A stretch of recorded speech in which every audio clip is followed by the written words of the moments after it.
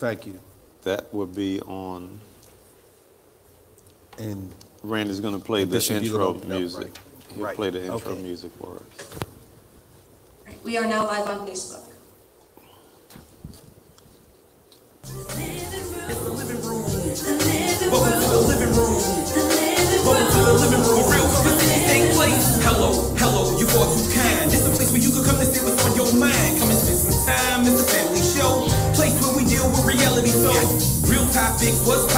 No stopping. Just make sure you watching. This is show for entrepreneurs and for those who clockin'. Black people, brown people, ass people, ass people. This culture, we're supposed to support one another. Let love take over in the living room. Welcome to, It's the living room. welcome Welcome to the living room. welcome. Welcome to the living room. A real conversation take place Well, hello everyone, and thank you so much for tuning in to the living room. Of course, it's your boy, and I'm back. I'm back from Aruba, Carl. I didn't want to come back, but I'm back. I, I thought I may have had the show, uh, the living room in Aruba, but uh, they kicked me out, right? But we're back here. We're here in the wonderful state of Maryland, and it's so good that you've tuned in. And uh, I'm here with Carl uh, Snowden, who is the convener of the Caucus of African American Leaders. And of course, we're doing our monthly uh, meeting tonight uh, with the caucus. And so uh, while you're on Facebook and you're watching, uh, we're going to make sure that if there's something that you like, that you'll go ahead and hit that like button. And if it's something that Carl is going to say that you love, uh, we want you to hit that heart button. Just keep on hitting it too. You know, give us a lot of hearts. Most of all, we want you to chat and communicate with us. You may have questions. You may have comments that you want to share with us, some vital information that we may not even be uh, privy to. We want you to put that right in the chat room, uh, in, in the chat. Um, so now today, as we're opening up for our wonderful discussion and giving out some great information, but like always, we got to bring the man uh, from above. we have to bring the Lord into the house, and we have none other than the Esquire, the Guru himself, the Reverend Ricky Nelson Jones. He's going to give us the invocation. let us pray, brothers and sisters. the heavens are thine, the earth also is thine. The world and the fullness thereof, thou hast founded it. And like Psalm 89 and 11, Lord, we bow to you knowing you're the only creator, you're the only God, you're the only one in charge, and you're the only one who get the final say so. We bow to you as the only God. We thank you for your son, Jesus Christ, who died for us on Calvary's cross. Lord, we thank you for bringing us together once again in safety. Keep us safe, Lord, as we discuss important matters of the day, matters of fairness, matters of justice, matters of equity. Shake us up and wake us up, Lord, to know that love is the answer to mankind and womankind's problems. It is not racial division. It is not the Caucasian delusion of superiority. It is humbly loving our fellow man. In the name of Jesus Christ, we pray. Have your way, Lord. Thank God. Amen. Amen. Amen. Amen. Thank you, uh, Reverend, uh, for that awesome invocation. It is my distinct pleasure, and I always have uh, uh, when I have the opportunity to introduce who I call my mentor, and I always tell everybody I just haven't paid him yet. uh, but uh, everything that I've learned about activism and, and advocacy, and then just loving on the people that's in our community to try to make a better day and to make a better uh, solution, bring better solutions in the community. It's because of the man that's sitting right here beside me. He is the convener of the Caucus of African American Leaders. Let's give it up for my good friend, Carl O. Snowden. And the O is for outstanding. I've been telling people all day long, uh, Bishop and I have been together, and I've been telling people, this man's wearing this fantastic top. I keep telling people, I love this top. And those who are watching, I told him this morning at another meeting that he should go into GQ. This man knows how to dress. Uh, several people that was with me were saying that it's his wife that dresses him.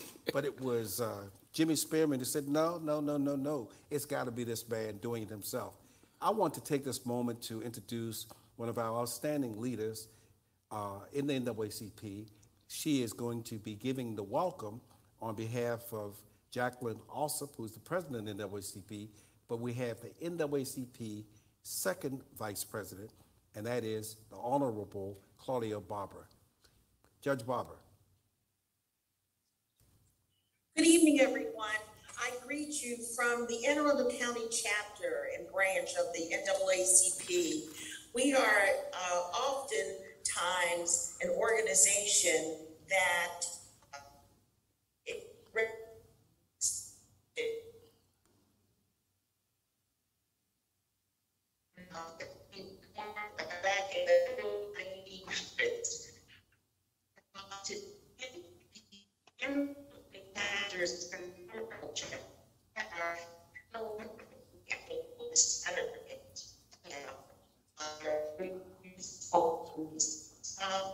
membership in the NAACP guarantees you access to our uh, what is becoming popular, very popular newsletter.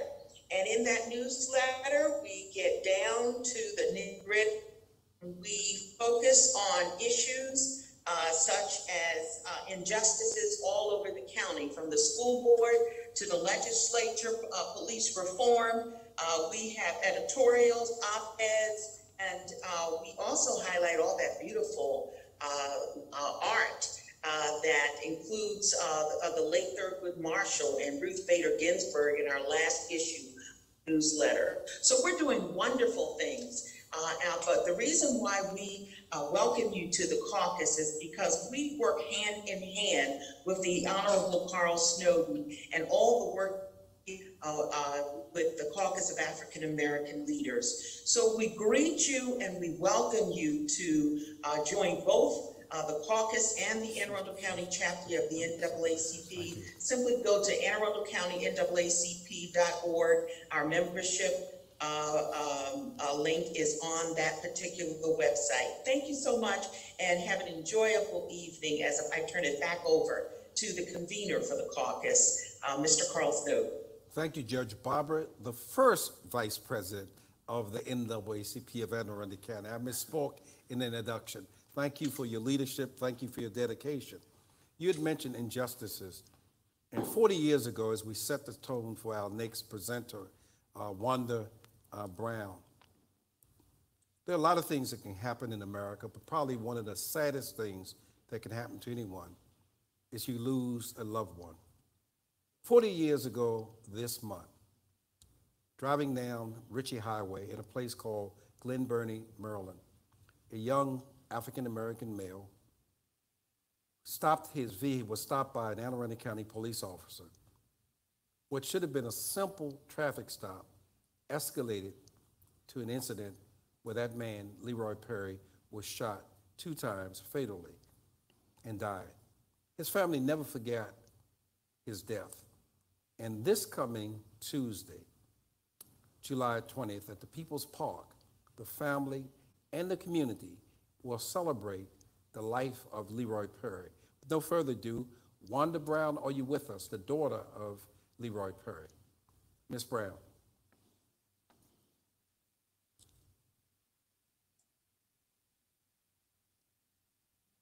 Emma, is uh, Miss Brown on, or is she um, muted? I, I see a Wanda, but, um, That's she her. might be muted.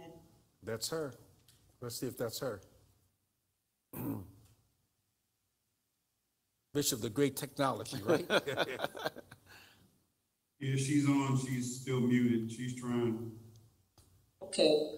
Wanda, thank you. Hi, can you hear me? We hear you very well. Welcome. Okay, I Welcome, apologize. welcome to the living room. Had, was having audio problems.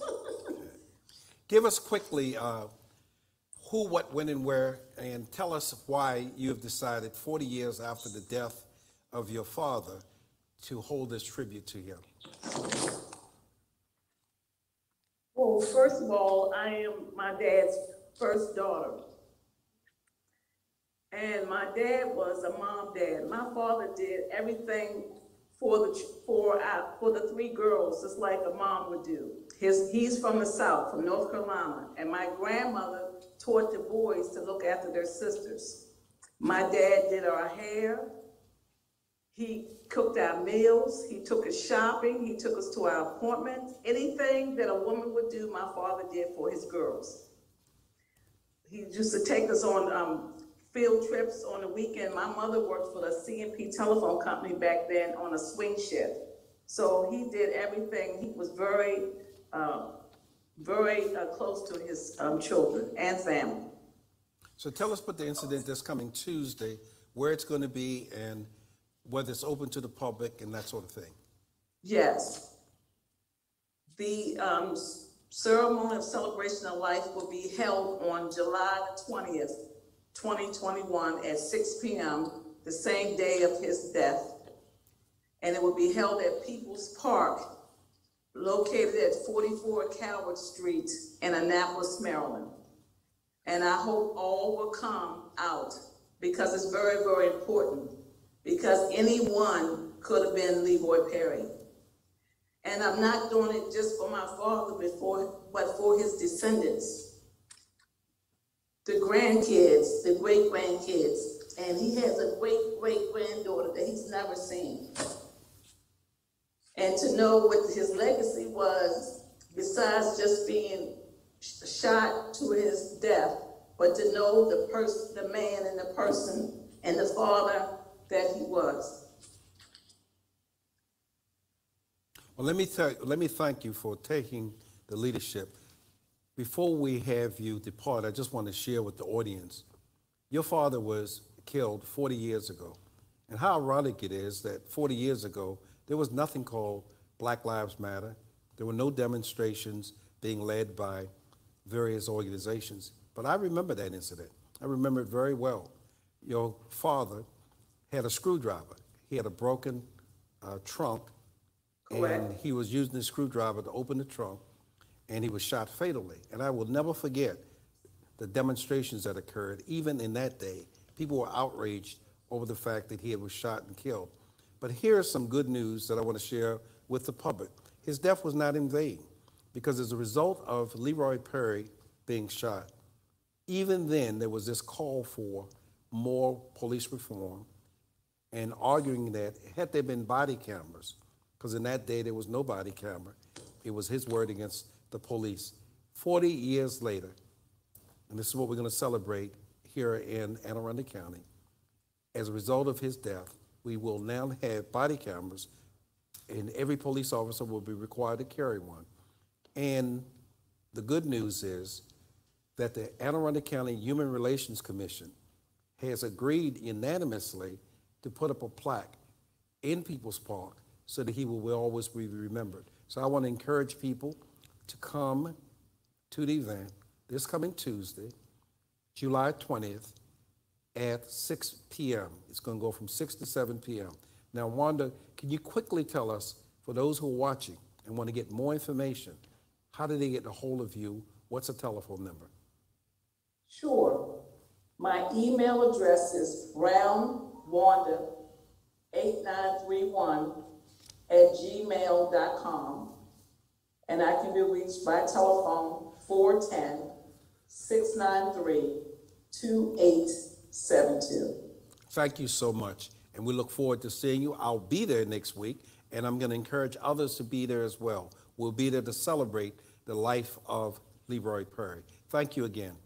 And I cannot thank everyone for some tremendous support then and now for my father's legacy and to, and to make this happen. Thanks so much, and I appreciate it, and I hope to see you all there You will.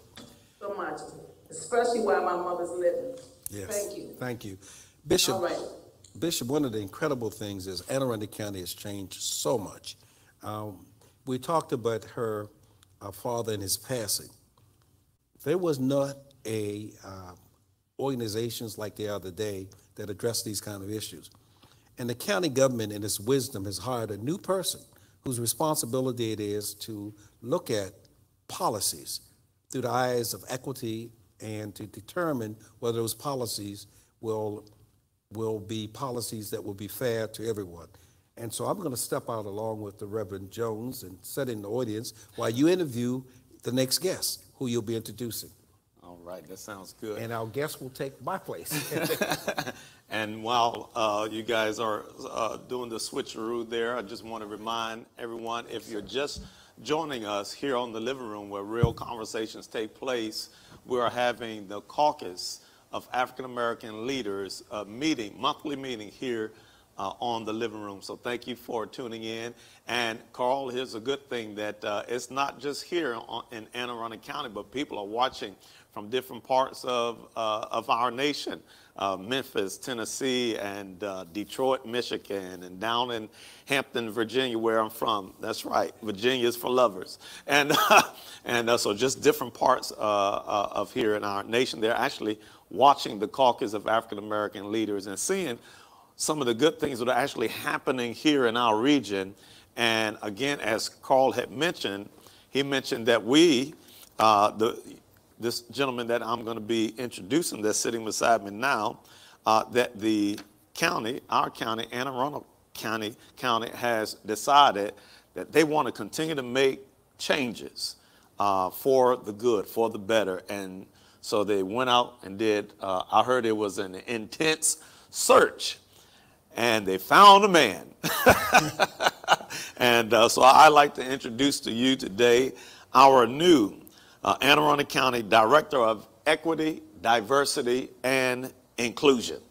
All right, so welcome, Mr. Richard H., aka Pete Hill. Indeed, indeed. So Bishop, I just want to get started by saying, first of all, thank you for inviting me here tonight.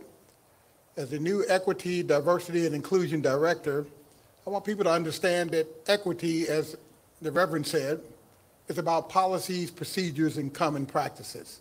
And I look at those things to see what is that language saying and how would that impact people. Diversity is about empathy.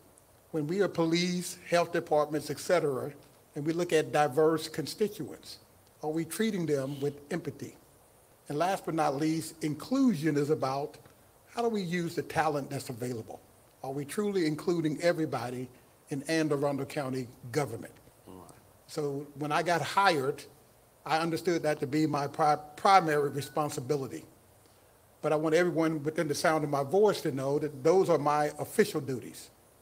I'm here to support the community in any way I can, and I've already started doing that with Carl. In fact, Carl was the very first person that contacted me the day I came to work. So I'm happy to be here, and whatever I can do to move equity forward, do not hesitate to call me. Well, first, and then we appreciate uh, what you just shared with us. And so I want to just back up just, just for a moment.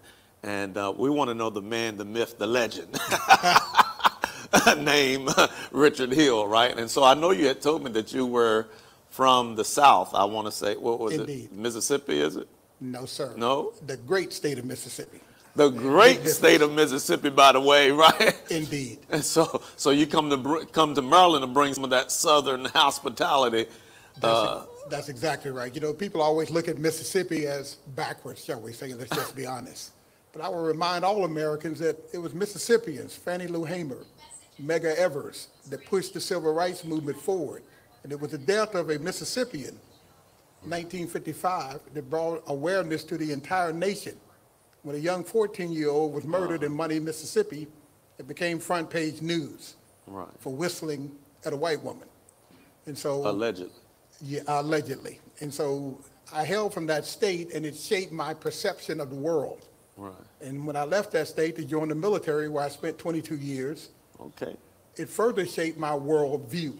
Right. And because of those two uh, experiences, growing up in Mississippi and traveling the world in the military, it gave me this insatiable need to help people who need help. So that's a little bit about the guy they call Pete. All right. So, and uh, so, how did you get up to into this region, to Anne Arundel County? How did you end up here in in Maryland? Funny story. Way back in 1988, I did a favor for an Army buddy of mine. I allowed him to stay with me for free for one year. Uh oh. and I forgot about that. So I retired from the military in 2006, and out of the blue, he called me and said, hey, man, what are you doing when you retire? So I told him I was about to become a high school teacher in Georgia. He said, man, you want to come up to D.C. and get a good government job. And so I reminded him that I only had half a paycheck because I just retired. And he then reminded me, you don't remember that time I stayed with you for free for one year? I want to return the favor.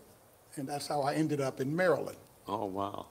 Doing a kind favor in 1988, came back to pay back me and tremendously in all those years later. So that's how I got here. Wow. 1988, you say, or 98? 1988. 88. Wow. Yes. Um, I was I was just joining the army in '86. So how about that?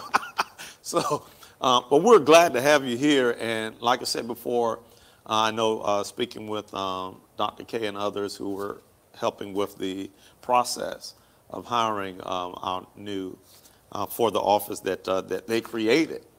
Uh, to make such an impact of, of change here, and uh, and they said uh, that they had a, a wide selection, and you were uh, out of you know many people, you were th- that chosen one. And so we, you know, we're eager to work alongside with you. And I think one of the goals were uh, to immediately meet with community leaders. And like you said, uh, Car- the Honorable Carl Snowden was the first Indeed. that you met, and I know that, that we've met, and others you, you've been meeting that's in uh, that's in the community that's also uh, making an impact. So tell me from uh, from your perspective, how do you view our county, um, and what are your um, goals for plans for this year? What do you see how you, you how you really want to start working um, alongside with community leaders as well as uh, within the, the, the agency itself? So you asked me, how did I see this county? When I first moved up here in 2006, and I gleefully told all of my black friends that I was moving to Glen Burnie. The First question they asked me was, am I crazy? I said, what do you mean? I said, man, it's nothing but a bunch of rednecks in Glen Burnie. I said, great, I'm from Mississippi, I'll fit right in. That's a true story, by the way. But my vision is that of Mr. Steuart Pittman. What he asked me to do when I got here was to come up with a countywide equity plan that would reach both internal and external stakeholders, which requires me to meet people like yourself, Bishop, and others in the community, as well as employees who work for the government. Again, Carl and I are currently working on some things together just to demonstrate my point. Mm-hmm. And so I'm not just here to work internally, I am here to work with people like this organization and others, be it in the LGBTQ plus community, so forth and so on. Wherever you need me in terms of equity, diversity, and inclusion, I'm simply a phone call or an email away. And if I can't do what you think I can do, I will try my best to point you in the right direction, because clearly I don't have all of the answers. Right. Close, but not all. Okay, I like that that confidence that he has there for us. Listen, I know that uh, we can talk all night. We have a lot of things we're, we're we're just meeting, and so I know there's a lot of things that we'll be able to um, share and talk about, and to just strengthen relationship and building capacity. Um, but uh, we only have but a certain a certain amount of time here uh, on the living room and the caucus meeting. So, but I want to say thank you once again for uh, being who you are Indeed. and also accepting the position of uh, equity, diversity, and inclusion as the director, and uh, and looking forward to making an impact together and seeing some substantial changes Indeed. taking place here in our county. And again, welcome and thank you for assuming that position. I just want to leave you with one thought, though, Bishop. Uh oh. People never resist change, they resist being changed. So make sure we never forget that. Okay, all right. We we got it pinned in the memory in the memory bank. all right, let's give it up one more time for the new director of equity, diversity, and inclusion, the Mister from Mississippi, Richard H. aka Pete Hill, and we have the Honorable Carl O, and the O stands for Oh Don't Mess with Him, Snowden. He is back on the couch here in the living room where real conversations take place and the Caucus of African American Leaders monthly meeting. I love it when we can get together and meet on a monthly basis, even though we probably Yeah. meet almost every day. Every day.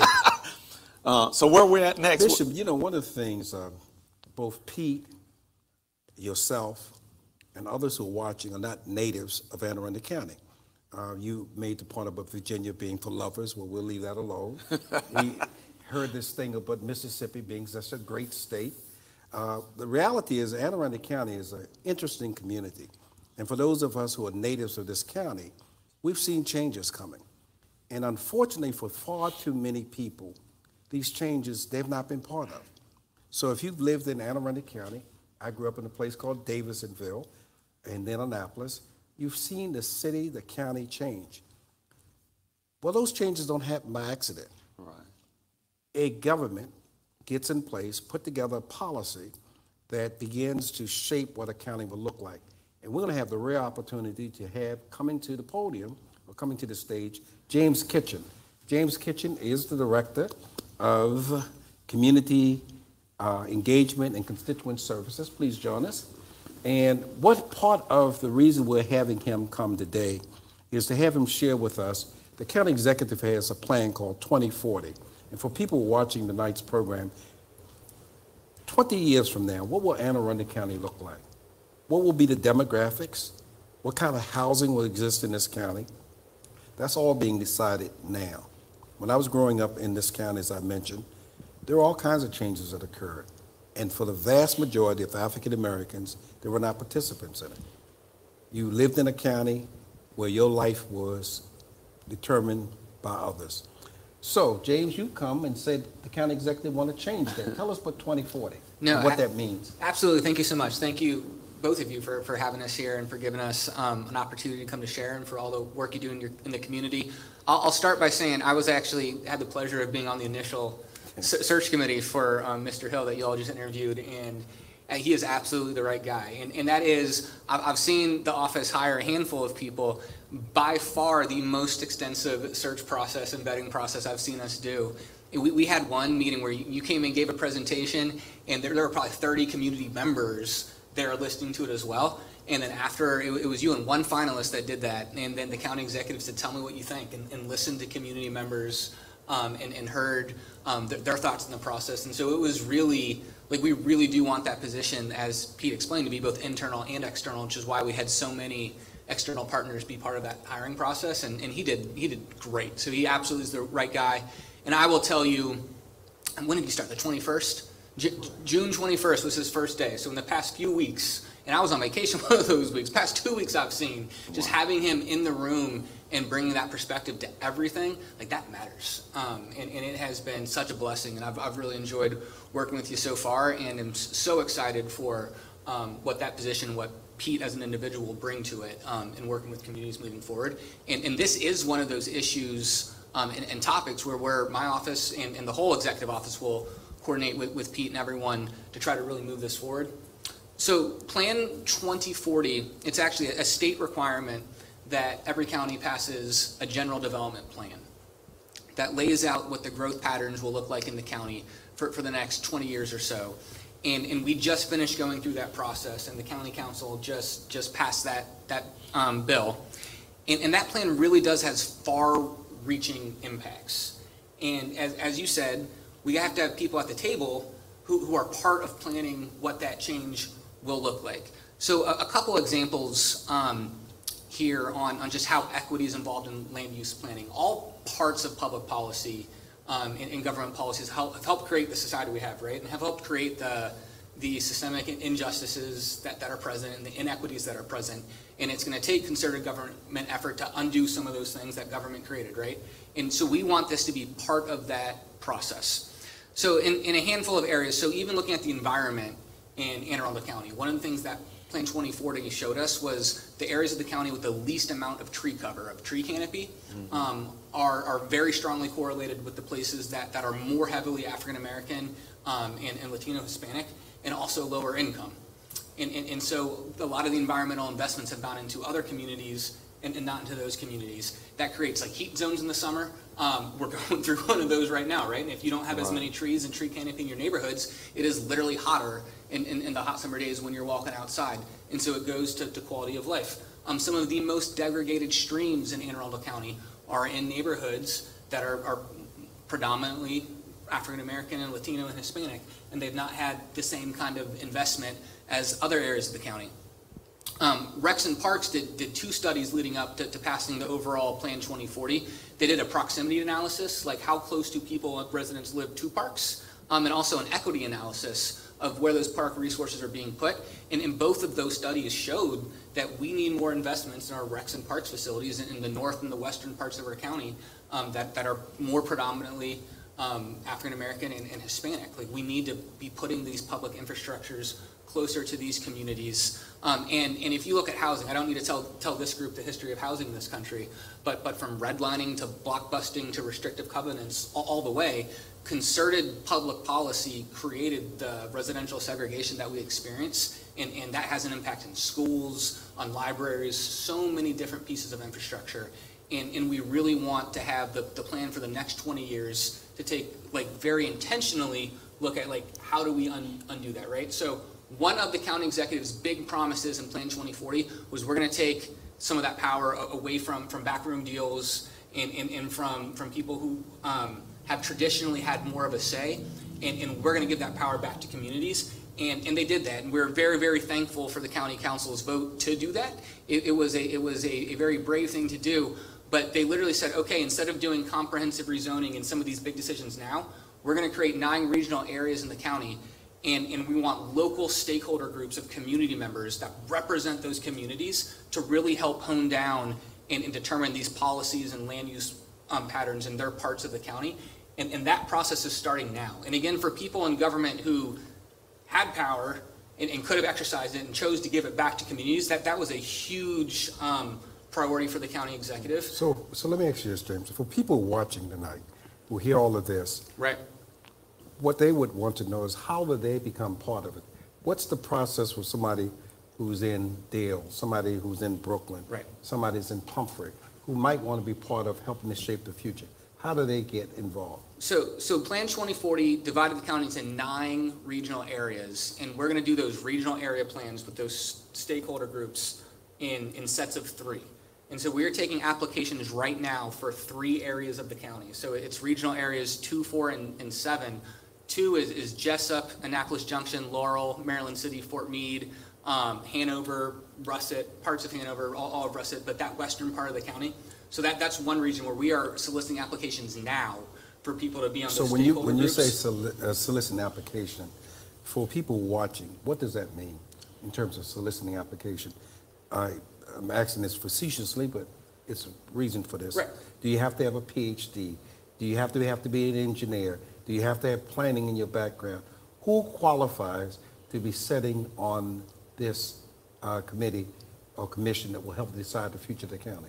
Right, so, so no to any of those official qualifications, right? Mm-hmm. We, we want people that, that have, have time and just share a vision of, of planning with, with an eye to equity and, and into making, again, the, the next 20 years of, of planning and land use not look like the past 20 years. Um, you need, it's gonna be about, it's an 18-month commitment to help put one of these plans together for that area of the county. So gotta have commitment for, for 18 months, and it is about eight hours a month. About four hours of meetings is, is what we're estimating, and then four hours of, of community outreach, just talking to community members in, in your area, um, holding listening sessions where you listen and say like, how, how do you want this part of the county to look like, and how can we do that there? So, so it's mainly time. We, we do have goals on, you know, we, want one resident that's a long-term resident, more than 20 years, a, a shorter-term resident, less than 20 years, someone representing a student group, someone representing a small business, a, a religious organization. We want these stakeholder groups to, to be representative of the communities in every sense of the way, um, and to look very different than, than what past advisory groups have looked like. So any person that has a heart for your community and a heart for creating positive change and helping to undo some of these things So how do climate- they, how do they do that? Do they go online? Do they call you? Is there a telephone number? And again, if there is a telephone number, share it with us. If there is a, online, they need to go and apply. Tell us how they do that. Okay, so, so again, the, the three areas of the county, so it's, it's West County, we went over that, and then it's, um, area four is Pasadena, Severna Park, Arnold, Cape St. Clair, the Broadneck Peninsula, that, that area is one group that we're looking for a committee for now.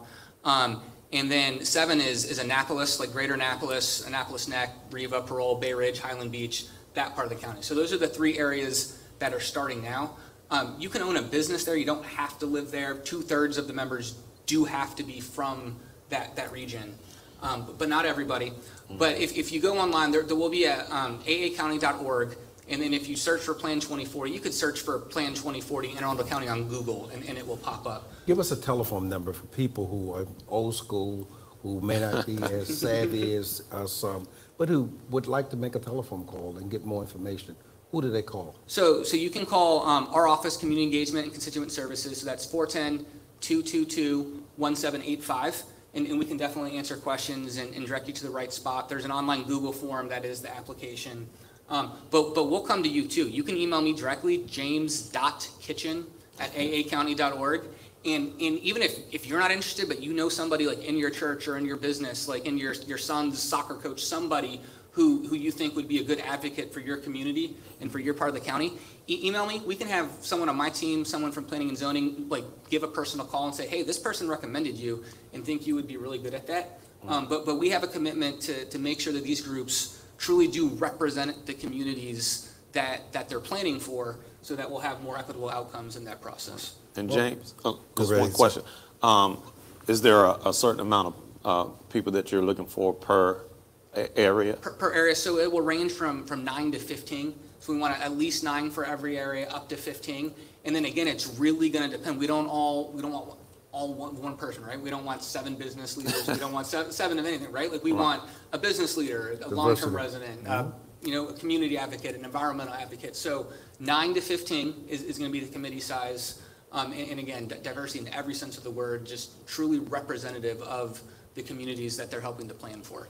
Good. Well, on that note, James, I want to thank you, or we would like to thank you for being part of this. And I want to really encourage the community again. Here's an opportunity to make a difference. Right. So often what happens is other people decide what your fate is. The county government is giving you an opportunity to participate in the process. 2040. We don't have enough time to go into this because we got to go with the other parts of the program. But I want you to think of this for a moment. Anne Arundel County is changing, and it's changing rapidly. The racial makeup of this county is changing. The community is changing.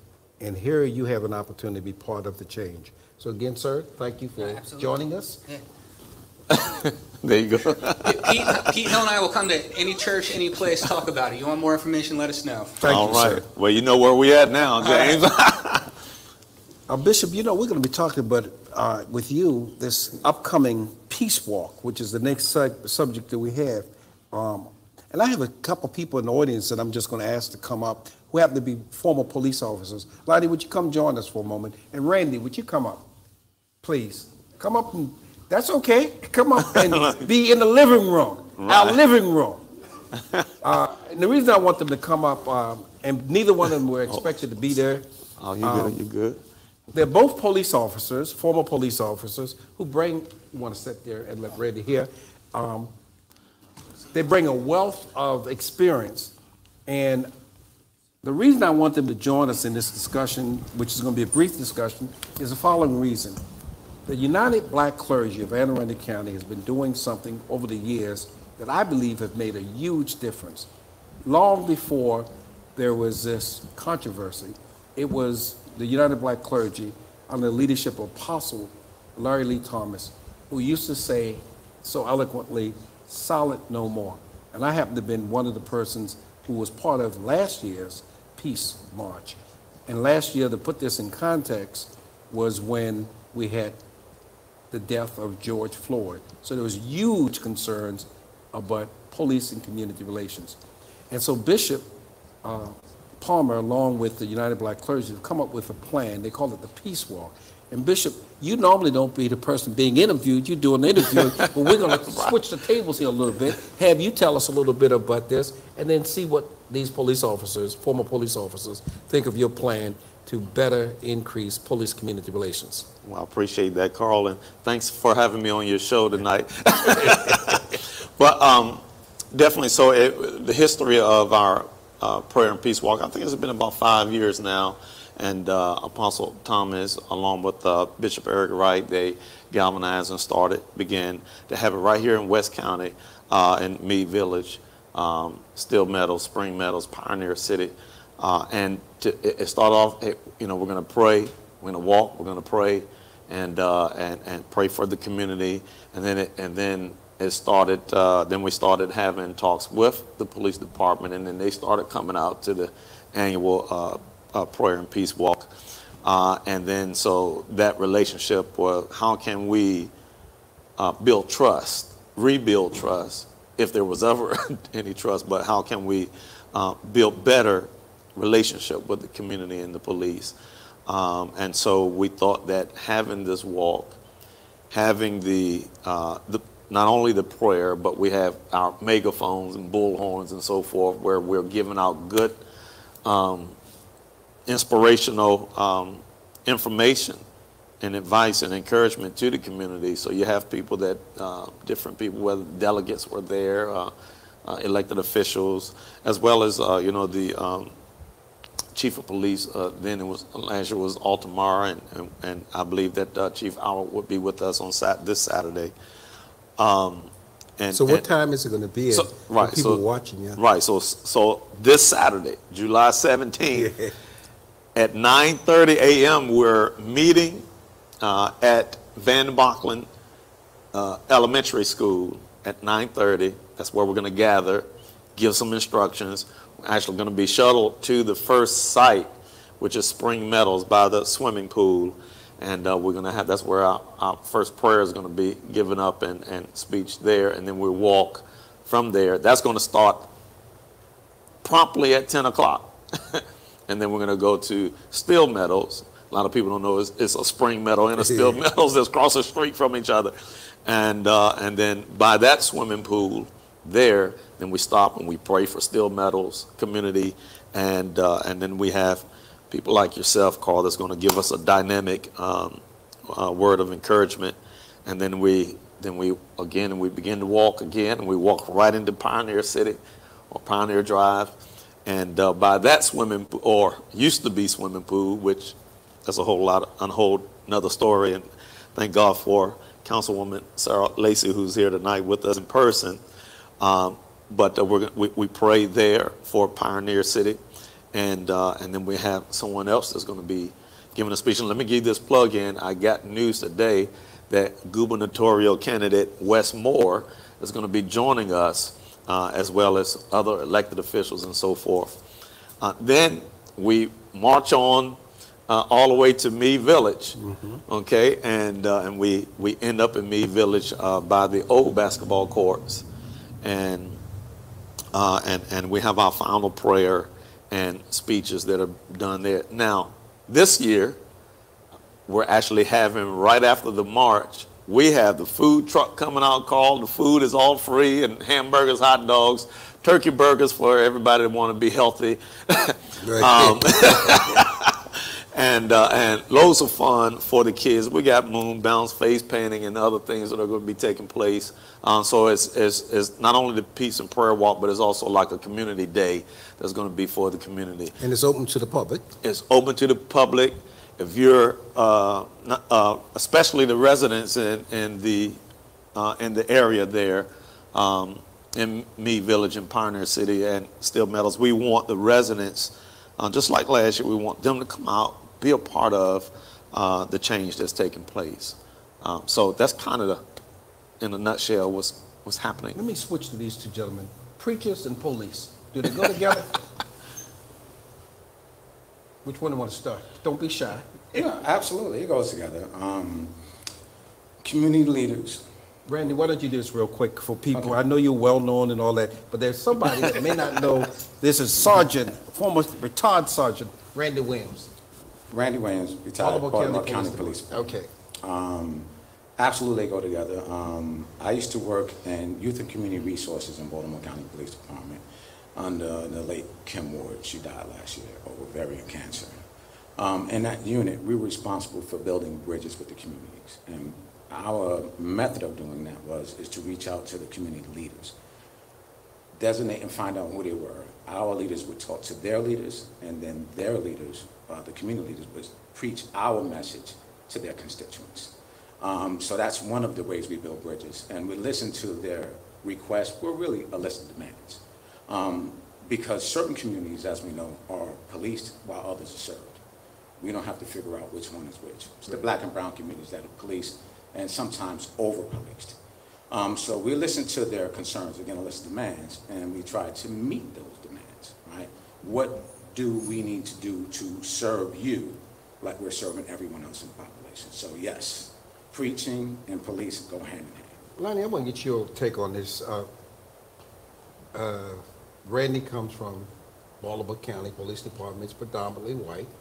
You are from the metropolitan Washington D.C. You worked in Washington D.C., which of course has a larger African American population.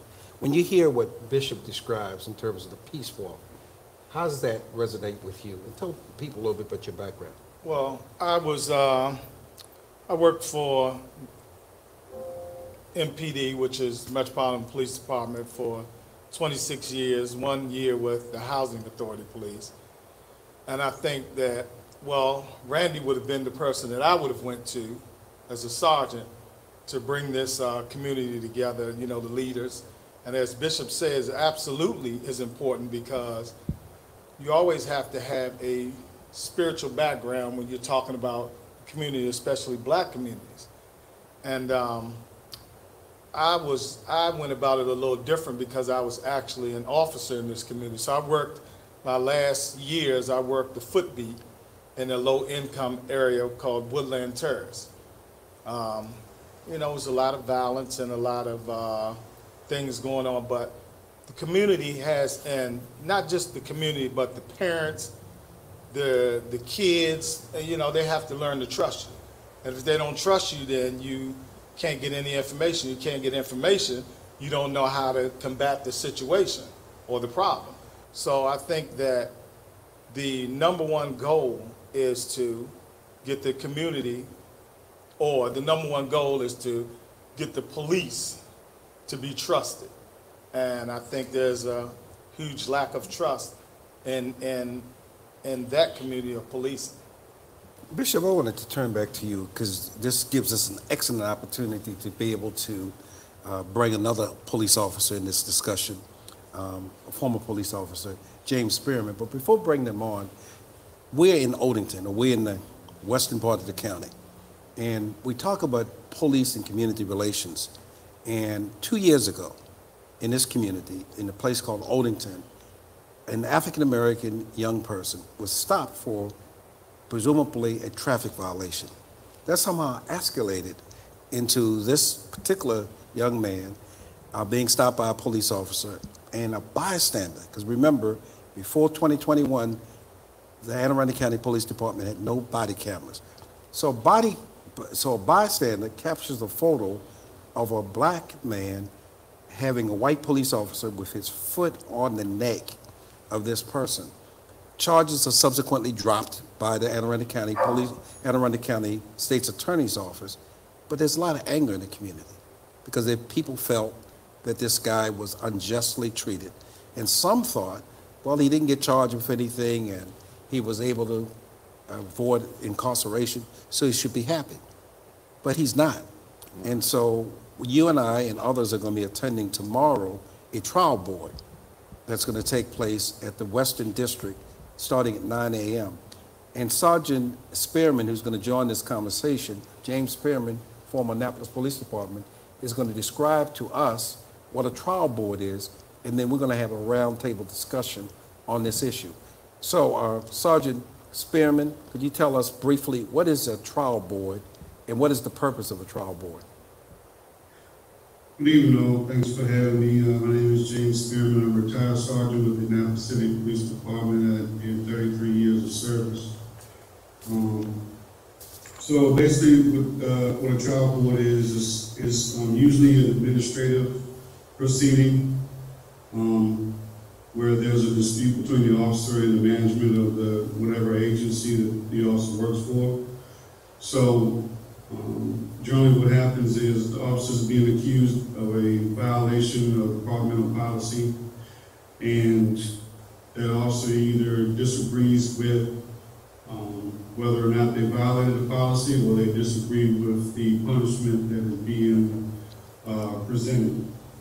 So in short, it's like a, a court proceeding. The officer gets to put on testimony. The, um, in this case, the county police will be putting on their testimony.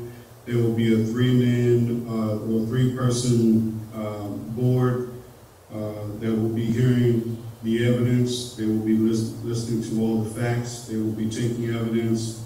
And then from that, they will make a judgment on whether or not the officer is guilty of what the police department is accusing him of. One quick question too, before we open it up to a sort of general discussion. The process you just described has changed because of the Maryland House of Delegates and the Maryland Senate voted unan, not unanimously, but voted overwhelmingly to remove this process. Because the process you're describing, which is the, one of the last processes like this that will be taking place, involve only police officers. The three members of the trial board all police officers. Under the new system, civilians will be involved. What was the rationale, if you know? Why was it only police officers who were, under this system, allowed to review the conduct of fellow police officers? Because in law enforcement community, there, or it is the belief within that community that only a police officer can adequately judge the actions of another officer because of the unique, uniqueness of the career and the uh, responsibility that comes with um, holding that position. Thank you. Bishop, um, you've been dealing with police community relations, and generally what I find is when you talk to police officers, um, there's been this division created, us versus them. I saw a sign that said, defend the police. And then I saw another group say, defund the police. a bumper sticker kind of uh, analysis. Isn't it more complicated than that? It's almost strikingly a good comparison of, about what's the parallel to what's actually uh, the mindset of the community and the police. Um, um, it, is a little more complicated than that, um, but because of the distrust from uh, police officers who have not been reprimanded for actions that were unbecoming as a public uh, servant, uh, especially in, in the uh, black and brown communities. And because uh, when some uh, actions are committed wrong and, and unjust against our communities and then nothing um, is corrected about it, that's what brings that distrust. There used to be officer friendlies and things like that where people, where the community, where the officers was there. We don't even have that anymore. Um, so uh, it, you know, it's a hard road to build trust. Um, but it takes those deep dive conversations and hopefully uh, from the chief down that we can start seeing the community's aspect and then turn around because there are, in those deep dive conversations, we also have to hear um, the, the police side because there are and the reason why I said it is because my brother is a retired police officer and he tells me things too from from his perspective that we may not see sometimes. You know, and we know that there are certain fears and things like that. I don't care if you carry a gun or not, you have humanity. And um, so that there are certain, you know, fears too. But how can we have these conversations? One of the things is you can have a conversation with me all day as a leader, and I may not even stay in the community any longer. But we have to have more police officers having deep dive conversations with the community itself so that they can hear the community perspective, the community can hear their perspective. But at the end of the day, there has to be accountability. There has to be more transparency. If not, we can talk trust all day. So and that's so, so that is almost a striking parallel when you see that. Now, as far as defund, when they say defund the police, I think it's really uh, the wording itself or the term itself um, does not really give value to what the people really want. You know, um, so it's not like we're saying just take all the money from the police, you know, and not let them have anything, whatever. But there are a lot. I mean, they've been, you know, militarized, and uh, a lot of the a lot of funds have gone to you know these high-tech weapons and all kinds of stuff and whatever, you know, and, you know, we got broomsticks we're fighting with, kind of thing, you know, in the community. So, um, uh, but, but resources can be allocated to help what some of the things that are actually happening in the community uh, versus buying more weaponry and things of that nature. So that's kind of the concept for defunding. It's not like let's just strip them from everything. You know, Clint Eastwood became famous in Dirty Harry when he said, "Make my day." And he had this huge gun. And this is something I want to ask all of these police, former police officers, a question that has always kind of uh, puzzled me. Let me see if you guys can answer this question. We've been told when there's fatal shootings by police officers that police officers have to make a split-second decision. And so those of us who are on the outside should not be able to make a determination as to whether that particular officer made the right decision. It's a split-second decision. And the thing I've never quite understood is all police officers are faced with the exact same situation where they have to make a split-second decision.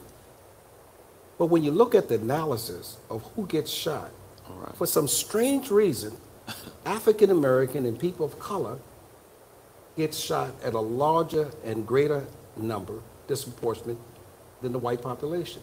So what I want to know is why is it possible that black police officers who carry guns and put in this split level, split second decision don't wind up killing white people at the same rate that white police officers kill black people?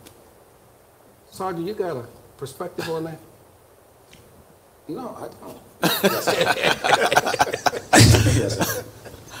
Why does that happen? Culture. Culture. Right? Um, if you want to incorporate um, all of the isms that exist in the world, yes. Um, these are facts. All right. Um, in the 21st century, police today are better trained than ever before in American history. And yet we're still having the same problems as we had in the 20th century and 19th century pertaining to policing.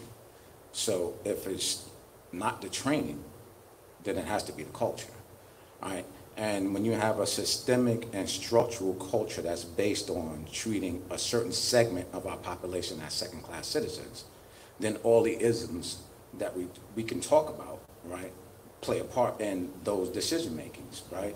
Um, shoot or don't shoot, right? again, it goes back to what I said um, earlier. Certain communities are served, while others are policed and most often over-policed, right? And that's a part of the system. Um, you promote from within the system, all the way up to the ranks to chief. Um, they were reared in the same system of the thin line, right? So the system will do everything, will utilize all of its working parts to protect itself. They will even cannibalize itself to protect the brain. That's a part of the policing system that has been prevalent in this nation since the inception of policing.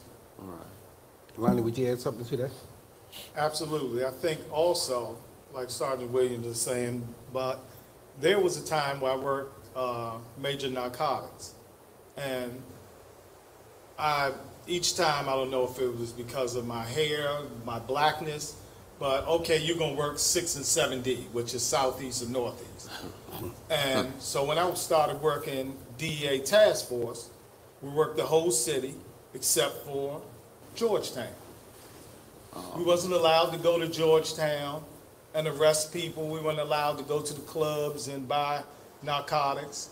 So obviously, there's not going to be a shooting there because we're not allowed there.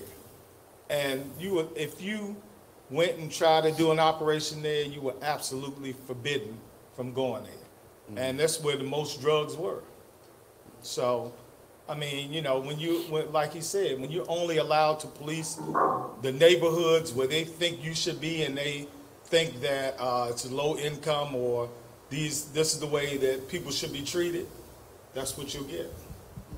And Carlton, I also like to just tag along on that and say that the media is a problem with the media as well. And that's probably, that's one of the reasons why we had started the group that we had with equity and media. But you know, when you hear things like black on black crime, crime and, you know, all these nomenclatures and stuff that they put on the black community, uh, that's a reason. And so the psyche of some police officers is, you know, they, you know, that we, we're so crime infested when there actually has been more reported white on white crimes, if you want to use that terminology, in our nation than has been black on black crimes. But we never hear anybody in the news say, "Oh, it was white on white crime today," you know. So, so things like that too builds in the psyche of police officers who would just come on the force and thinking that you know, you know that's why diversity training is so, you know, um, so important uh, so that they can understand culture and understand that the that the media put some stuff on us that really shouldn't have never been there. You know, it's just crimes by proximity. Bishop, they, uh, Dick Gregory makes this point that when people talk on black on black crime, and they say, you know, they should stop this black on black crime, Dick Gregory said, now wait a minute. the majority of white people who get killed in America is done by white people. Right. The majority of black people who get killed in America is done by black people. And it has to do with what you said, proximity. He said, notice that people say, people say there must be a effort to stop black on black crime. They don't say there must be an effort to stop killing. So his suggestion is that do they want people to leave the black community and find somebody else to kill? I mean, which is his point. Sergeant, do you have anything you want to add to this before we go into this really significant dis- uh, discussion with Margot, who I want her to be prepared for the question that I'm going to raise with her in a minute? Sure, I agree with everything that everyone has said thus far. Um, I think it also, uh, comes from the fact, going more direct to your question, um, we being black officers, we come from the black culture, so we're better able to understand our own issues and our own culture and our own people more so than someone from another culture. And one of the things that ha- that happens is we hire uh, a lot of young white officers who come from middle or upper middle class neighborhoods who've never actually really had that uh, interaction with a black person. We've had officers that who come from uh, Colorado who we put them on the street and now they're surrounded by a predominantly black neighborhood. They've never had that experience before, so they react on just what the bishop said, what they see in the news media, and uh, their perception of what a police officer is supposed to be. So many um, new officers come in here, they try to, um, they have the badge and the gun, and they want to impose their will on uh, on people, and uh, it usually turns out bad in the end.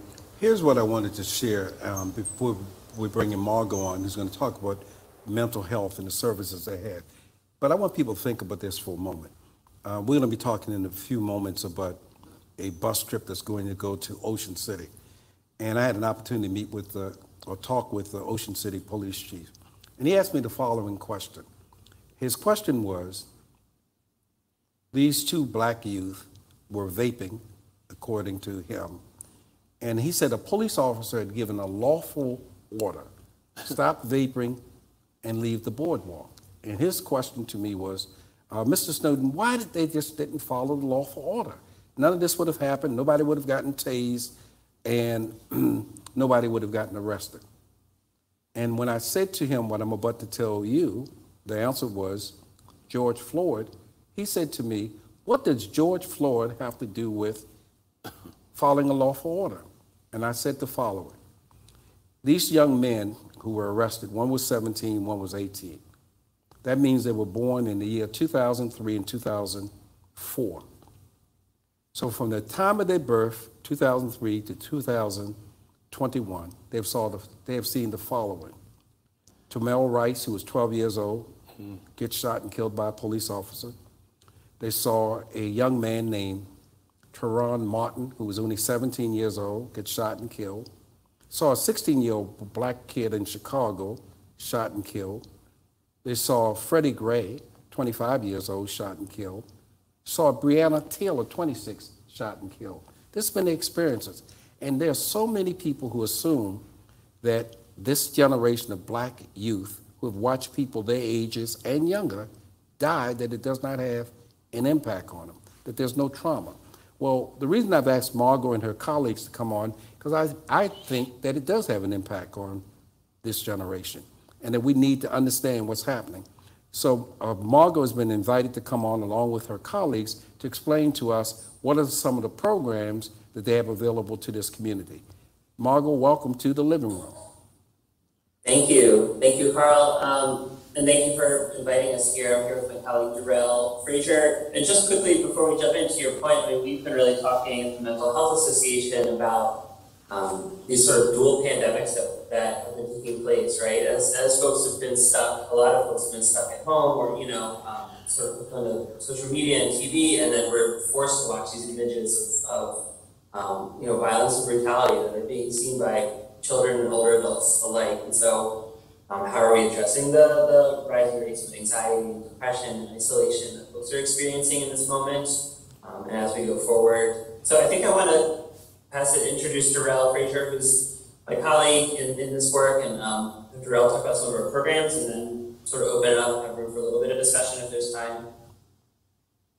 Yes, um, absolutely, absolutely. Good evening, everyone. Uh, my name is Darrell Fraser.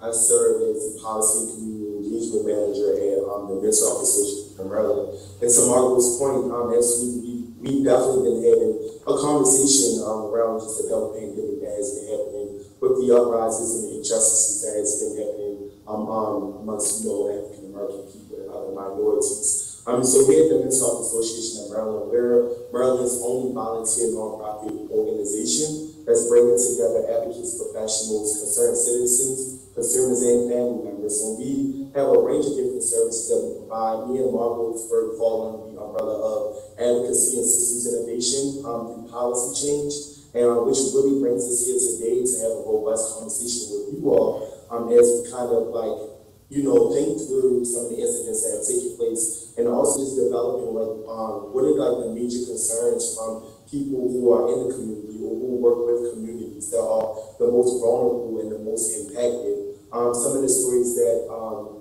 Mr. Carl Snowden had um, mentioned about the incident that happened in Ocean City. I've seen a um, video go viral on social media, just seeing the reaction amongst um, just different, you know, colleagues, family members, friends, etc. I think it's getting to a point where though people are kind of becoming numb to the feeling. They are kind of tired of seeing these videos to the point where though we aren't even um, the videos around anymore because it's become it's happening so often and people are often talking about it um, consistently, you know. So um, just some of the other services that we have been um, kind of like just promoting and talking about are just like outreach and education um, to some of the services that we provide um, to like those communities who don't have access to uh, those um, particular kind of services, such as you know children, children's mental health matters, which is a campaign that we offer, older older adults vibrant minds that whisper aging and older adults. We also offer trainings um, such as the mental health first aid training here in Maryland, which is a public education national certification course. We also do a program we offer called Engage, um, which is a highly interactive and comprehensive skill-based training program that gears towards increasing awareness around just developing um, skills and necessary relationships to engage in healthy um, relationships. And then just services and oversights. How do we uh, engage those who are impacted and hold them accountable? So just the consumer quality team in Maryland, uh, which we like to call CQT, uh, which partners with consumers, providers, and funding um, agencies to present, um, discuss, and find resolutions to problems that impact consumers and their experiences in mental health. And so start right there because um, I know that we're limited, limited to the amount of time that we have. But um, we also have partnering organizations where we develop, um, where we offer other resources as well, such as like, you know, a hotline uh, where folks can call, and uh, refer, or recommend uh, specific services related to mental and behavioral health, etc. And I'm really, really interested in hearing what um, some of the ideas are from, you know, those of us who are attending this meeting. Uh, what are your um, concerns that you're hearing on the ground as we're kind of exploring and developing new relationships and partnerships with like ideal stakeholders and concerned citizens throughout the state of Maryland. Because as we engage in the Maryland um, legislative uh, session in 2022, we really want to push for policy change that is from the people and that is people um, driven. And thanks again for um, allowing us to meet today. Let me ask you a question. As part of your listening tool, Do you come out to the community?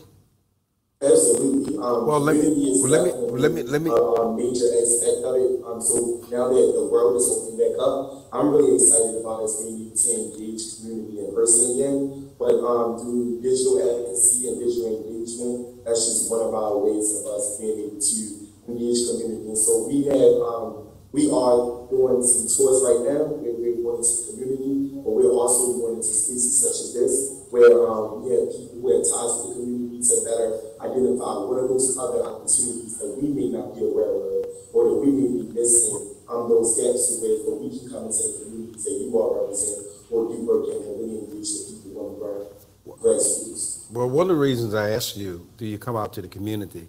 Because you probably heard Bishop earlier talk about something happening Saturday. Are you guys willing to come out and meet people in the community in Anne Arundel County, in the Meade Village? Well, Bishop, uh, I'm sure will provide you with where the group's going to be meeting at. We'd love to have you come and be part of that on this coming Saturday. Okay, yes, absolutely. So that's exactly, prime example, um, as I was on the call today, yes, listening to the conversation that you all were having, um, opportunities like this, like engaging, um, community, um, events, meetings, um, things of that nature. So I'm definitely open to coming to meet people in person. I'm actually really excited. I'm vaccinated and I'm ready to go. Bishop, will you extend a formal invitation to him? listen, listen, brother, come on on on this Saturday. I want to see your face in the place, 9:30 a.m. sharp at Van Bokkelen Elementary School. We need you right there, and then we're gonna walk that whole West County community there, and you're gonna be able to see some of everybody and love on some of everybody on, on this Saturday. So. Um, if you, uh, I got to make sure that I can get your information and I can um, email you um, all of the events that I know that are happening here in July and August. Yeah, would you kindly, would you kindly put your, would you kindly put your contact information in the chat box? Uh, Emma is a wonderful um, uh, facilitator. She will be able to record that, and, and we'll have a formal invitation to you and Margot and your team to come out and meet people on the ground and hear what they have to say. And I'm just curious about something I said earlier, whether either you, mm-hmm. Margot, or others have a point of view on this. I just said about a whole generation of young people, African Americans, who've been experiencing what you referred to as a situation that they've become numb to. I mm-hmm. respectfully disagree with you. I don't think they've become numb. I think there's something else that's happening to them um, where it mm-hmm. appears that they're numb. I think they're angry. I think that you're finding mm-hmm. the situations that people are not identifying. When you see people being mistreated over a period of time, and someone comes and says to you, I've given you a lawful order. There was a former police chief who lived, or who worked here in Anne Arundel County, who said something I've never forgotten, and I think he's right. He says, just because something lawful doesn't make it not awful.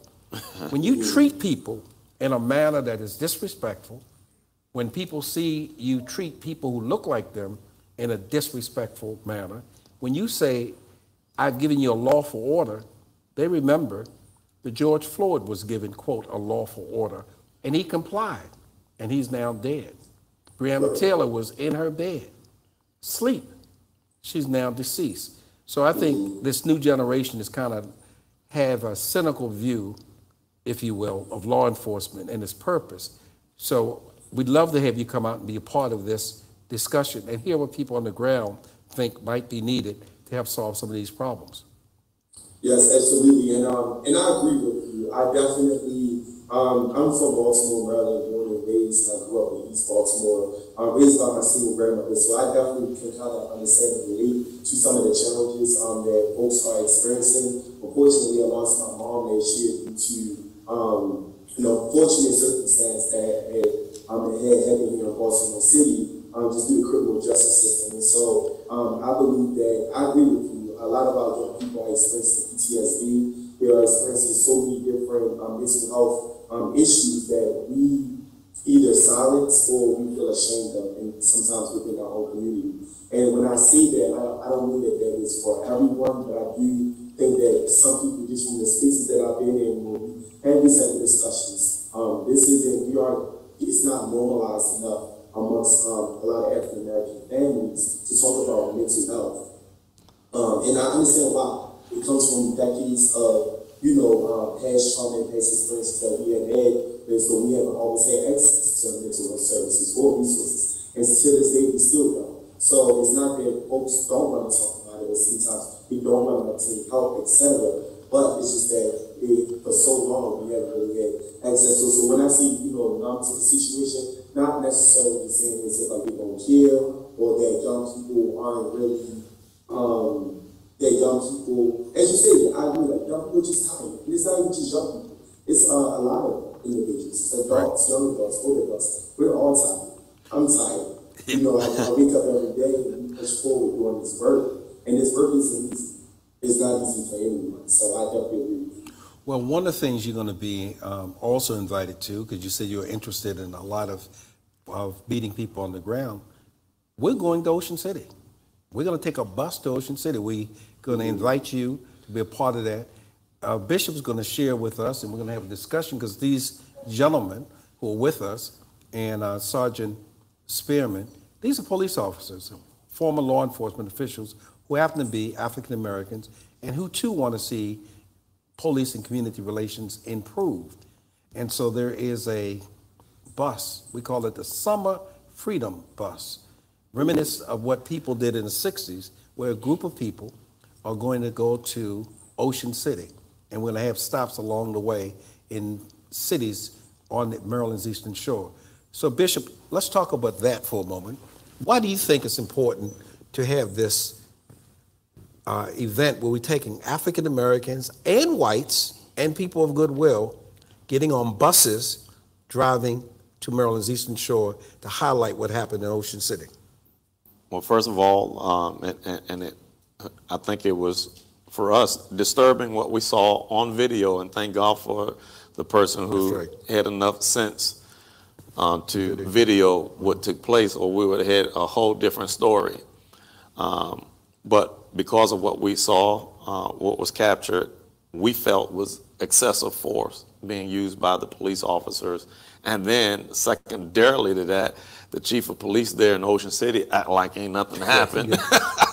uh, and so we had a press conference where we galvanized and came together, and we spoke out of our mouth that we're we're one. And you gave the analogy with the green, the, the hornet, and I, I also, um, uh, you know, back that, you know, by saying that when you violate one of us, you have to deal with all of us.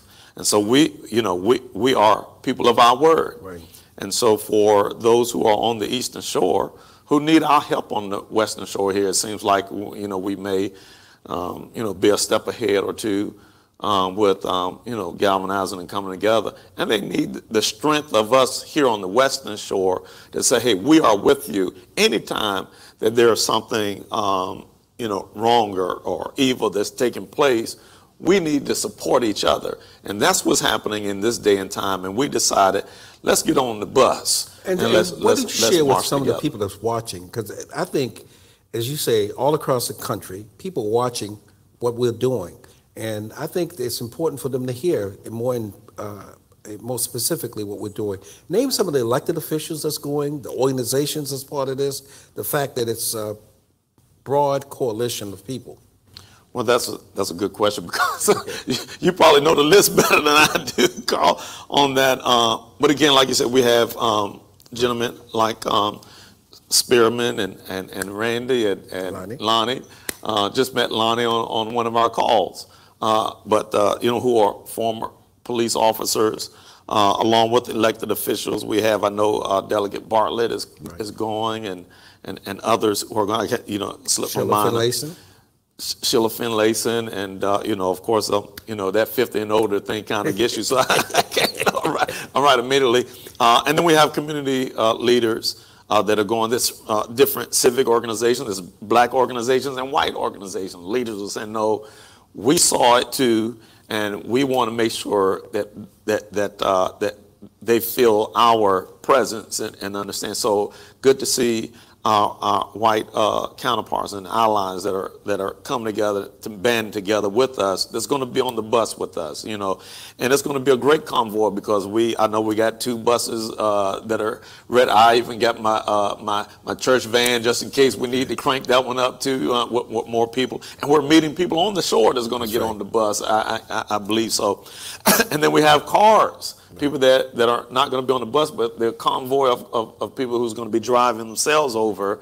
And uh, so it's going to be a huge event for us, but it's making a grand statement here in the state of Maryland and our nation at large that, uh, that we mean business when it comes to we're tired of all of the stuff that people are doing without accountability and think that they can just it's not the you know they've been hiding behind that good old boy system for so long. And look and our young people are saying uh-uh. That's right. you know so what granddaddy and all them did or whatever you know and i know they had to show manners of respect or whatever case is back then and couldn't do certain things. But now the times have changed and my son and, and, and folks of his age millennials and all that they're like uh-uh, nah we're not happy. But and so we're saying we're alongside with our young people as well. So, uh, and so it's going to be a great event, Carl. Now, this event is going to take place this coming Monday, Monday, July 19th. People meeting in Annapolis. Uh, anyone who wants to go on this bus trip are welcome to join. Uh, Lisa uh, Rodvien from the county council has already indicated she's going to be on the bus uh, going to Ocean City, and there are other community leaders. But Randy and Lonnie and Jimmy, the question I know that's going to be asked, because the demonstration's around police misconduct.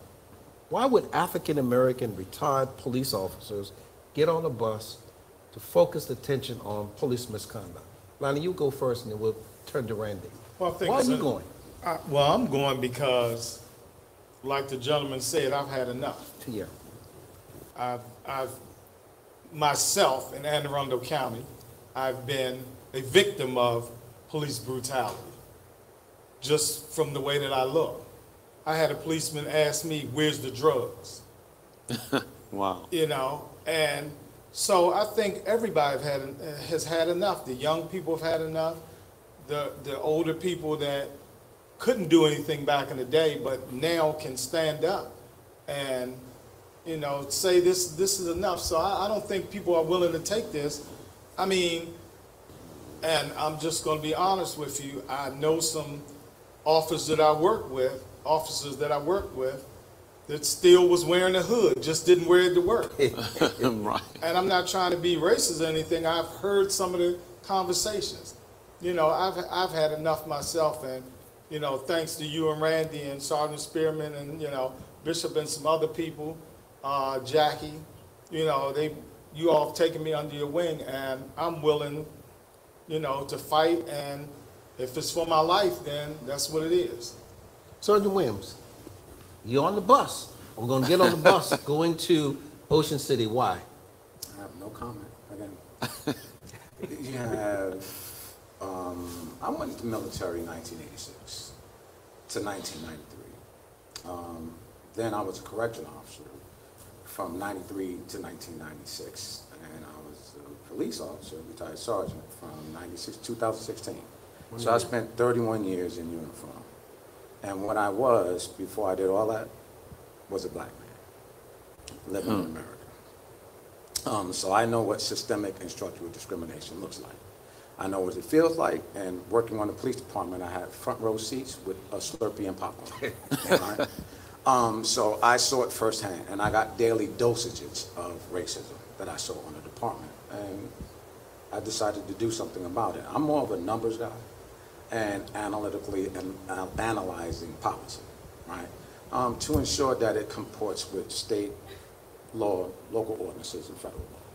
Um, and what I found since I retired, doing the work that I do with the caucus and other groups as well, ACLU and other groups, um, is that I find that a lot of policies do not comport with law, and police will use cultural statements like, it's my job to protect my guys.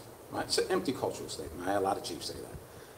But it's an incomplete statement. I would tell them, yeah, it's your job to protect your guys from themselves. Right? Um, because they go out and do unlawful stuff. perform unlawful acts, and then it's covered up. So protect them from themselves. I blame supervision on police departments more than I believe than I blame officers, right? Because they do what's allowed, right? Leadership from the top down, right? Train them appropriately, right? And they'll do the right thing. Teach them to protect themselves, right? Simultaneously serving the community because that's what we put our hand on the Bible and swore to do. Protect and serve, not ourselves and law enforcement, but the community, right? And the transparency and accountability is crucial, as the bishop stated earlier, because often they'll say these are isolated incidents. Um, in order to prove that as a negative, you need to get the data, right? And you need to critique the policies. Once you get the data, then you'll see that that's not necessarily the case. There's an agency in Anne County in which field interview reports, field interview reports, I should say, which is the first cousin of stop and frisk forms, right, um, is utilized in the community, right? And they have their own thesis. More frequency of stops, you know, reduces crime, which is an unproven theory. And they're not going to prove it because it doesn't exist, right? 66% one year, people of color were stopped. Only represent 26% of the demographics, the population. The next year, it went up to 75%. Again, only represent 26% of the population. So this is not a one-off. This is not an isolated incident. This is systemic and it's structural.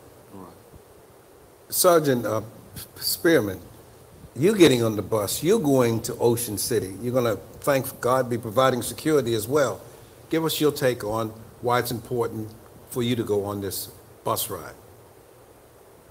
Uh, several reasons. Number one reason, when I decided to become a police officer, that wasn't what I signed up to do. I didn't sign up uh, to go around and impose my will on people. I didn't sign, uh, sign up to go around and bully people or anything like that. Have I ever used force? Yes, I did, but it was only when warranted.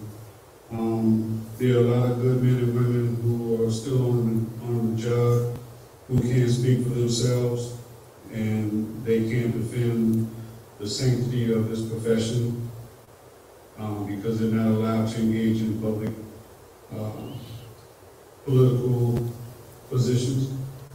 Only unless you're certain people, if you're uh, going to uh, insurrections and things like that, are you allowed to voice your opinion and get away with it. But neither here nor there. I have grandchildren, I have children, and um, those young men that were uh, accosted the way they were, those could have been my kids. Those could have been your kids. And uh, we all deserve to enjoy life, and we all uh, have civil rights. We all have the right of choice, and we all have freedoms. And uh, I want to see and ensure that the things that happen um, don't happen again in Ocean City. Bishop, one of the things that I find when we have discussions like this, ultimately, policymakers have to make decisions, right? We work to elect people to public office. They have to take the strong position of knowing what's in the best interest of their community. And we're going to do a little improvising tonight. One of our guests who is scheduled to be with us, Charlie Cooper, can't be with us for, uh, for whatever reason, but he can't be with us. And I thought because we have in the House a policymaker, we'd like to invite her to the living room. So I, we have the councilwoman join us here. Johnson, Councilwoman, yeah, give her the, Councilwoman Sarah Lacey from the First District. Free to go. I heard the bishop when he first welcomed you on board, when you first came in. You've been hearing this discussion. I'm just curious, as a policymaker, you listen to these men uh, who have had this experience as police officers. What is your thinking about the need for, and you voted for, body cameras? Because we didn't always have body cameras here in Anne Arundel. Tell us what you got out of this discussion. Well, in addition to being a policymaker, before I became a policymaker, I was a practicing attorney who represented folks who have been wrongfully convicted um, and incarcerated beyond when they when they should be, and um, those representations gave me a particular viewpoint uh, of of saying you almost can't have enough accountability and different mechanisms because you know we're all we're all human beings. Um, but we, we've come to learn things like, you know, eyewitness testimony is so unreliable and so many people are convicted based on, based on just that. When body cameras became available, I couldn't help but think things like, well, maybe the police officers, you know, who did bad stuff to my clients wouldn't have had there been body cameras. And at the same time, I, I know that, um, you know, it's 99.9% of police officers do the right thing all the time, and I fully, I fully support that. I think that we're, as a policymaker, and then in a position of, well, there's a tension. You have to hold a couple of competing ideas in tension and figure out how can we resolve them in a way that um, that preserves and increases the dignity of all people and the way that we treat we treat all people. Um, and it's a privilege to be able to do something like vote for um, body cameras to be a policy of the Anne Arundel County Police Department and to uh, to fund the acquisition of of those cameras. But I will also admit to you that I had doubts at first because um, you know, this came up very early on in uh, what is my first, you know, term as a policymaker. Um, I wanted to be sure that there would be some kind of programmatic assurances that that the body cameras would be implemented in the proper way, because you can't just assume that. That is what I learned and brought to the table from my prior experience. You can't just assume that it's going to happen right, that the cameras are going to turn on at the right time, or that training will mean they always turn on. And we're going to, you know, hear of issues that unless there's a commitment to proper training, instruction, and implementation, then I was not going to support the purchase in the first place. And I had strong conversations with folks in the administration side to say, this is, to me, this is non-negotiable. You want my support. I need a, I need a real promise and a commitment to how these are going to be implemented. And I think we did end up with a, a year or so, uh, you know, delay, and that was in part because there was a real serious effort to make sure that if we're going to implement this program, that we do it right. Because that's what the public deserves, that's what our police officers deserve, anyone who serves the public deserves. And so I'm, I'm proud to be on the other side of that, and then to be, you know, also anticipating eagerly how the rollout goes, and um, I feel very confident that our, our chief's going to do a good job. Bishop, we always are soliciting people to come to the event for the peace walk. Have you asked the councilwoman to come? Well, I think she already knows all about it, but it, just in case you, you haven't in your district, It's on my calendar. it's, it's on the calendar. She has it on the calendar. But uh, um, Councilwoman Sarah Lacey, and I, and I know this, you know, as a fact, uh, she's always in the community helping out and supporting. And um, so, and I commend you for for you being present and wanted to uh, fight for change. And, and, and I see you out there, so it doesn't go unnoticed. So I, I definitely appreciate. I do want to make a comment. Um, when we first started the initial conversations about the body cameras, and Carl and you were very instrumental, and, and the great Reverend uh, uh, Ricky Nelson Jones, um, with those conversations. I remember when the former chief, when we were when we were when we were in talks, and he started pointing at the budget as though two million dollars or whatever it costs was too much. That's right. And then I think it might have been the great reverend that, that, that made the quote, you know, uh, something to the effect that, how- you know, how much does a life cost? You know, um, $2 million, you know, you're going to look at that. We're looking at lives being saved. You know, um, you, you get these incidents or whatever, you turn that camera on, we know it causes people to kind of think a little, whole lot different when that body camera's on. So that was kind of like one of the first initial conversations. And then he still didn't want the body cameras. And it took incidents like uh, George Floyd and stuff for the county executive to say, you know what, enough is enough.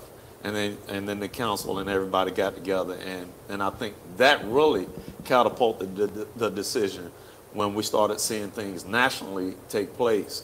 Uh, and, and we didn't want it here in Anne Arundel County. So, uh, but it took uh, uh, Councilwoman Sarah's voice and vote uh, to be able to say, I don't want that here in our county as well. So I just wanted to mention that as, as I was recalling in my mind from back That's then. exactly Well, and right. if I may add, you know, I can't accomplish anything by myself on, on the council. It takes a majority at least That's um, right. to, to support that. And I think, you know, we had a, a majority on, on some of our votes related to body cameras and a, a 7-0 on other votes, uh, depending on where we were in the process. But I You think also had four, three.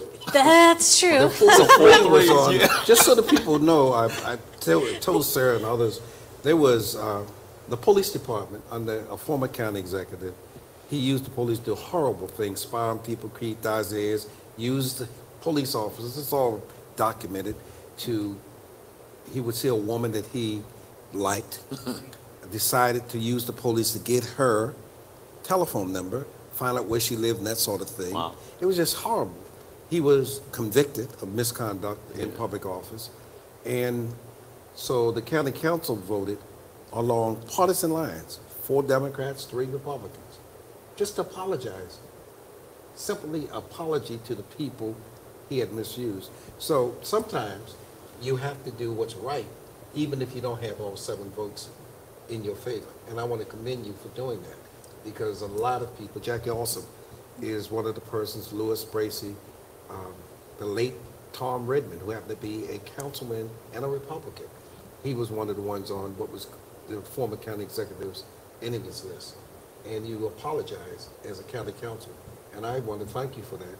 And also, early on in this, your first term, you voted with the majority to apologize for the lynchings that have occurred in Anne Arundel County.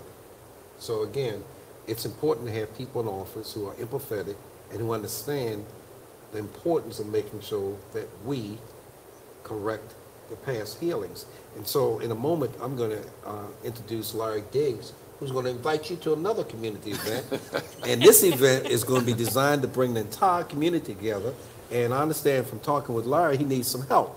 And Larry, this is your opportunity to tell us what kind of help you need for the next meeting that's going to take place. It's going to be at the Wiley H. Bates Legacy Center. And somebody's got their microphone on. That's Larry. Which is why we've got this feedback. You're doing a great job, Carl. Keep going. You're wonderful. Sounds good. You did you did have fun work, and I appreciate it. And your introduction is very important because you and uh, the bishop are terrific to what we attest and look forward to in our community. I thank God for both of you and every one of the people that have been on uh, the show today on uh, the living room. And uh, then I'm, I'm going to move on. But first of all, we're, we're the caucus at the behest of our, our leader, uh, Carl Snowden, has asked that uh, we come together, uh, start to come together this year uh, so that we can reattach and, and, and come together as a family that we were before this COVID hit.